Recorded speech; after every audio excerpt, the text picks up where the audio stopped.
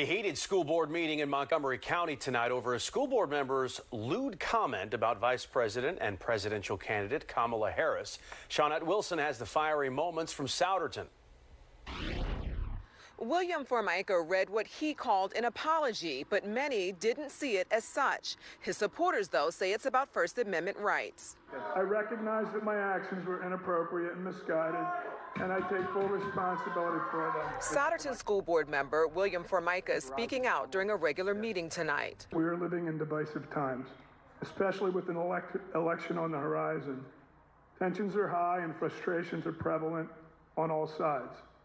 Personally, I've grown weary of the hatred and the division, and the no engagement of it. He's addressing controversial comments he posted to social media that sent the community into an uproar, calling his remarks racist, sexist, xenophobic, and homophobic.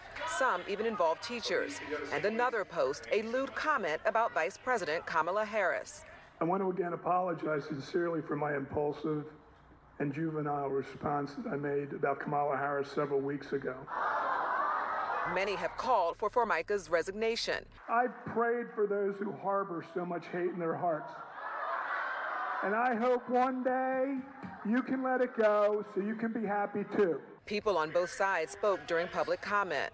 Formica is seen in the background making hand gestures. This embarrassment to our community must resign so that we can all get back to taking care of our children's education. Mr. Formica, take your poison and be gone. I think we can all agree on the First Amendment rights are one of the crucial cornerstones of this country. Ahead of the meeting, two groups rallied outside. He needs to resign. And the rest of the board um, really needs to speak out. We're moving on. We're not we're not engaging in, in this cancel culture and the harassment and the bullying. Shawnette Wilson, Fox 29 News.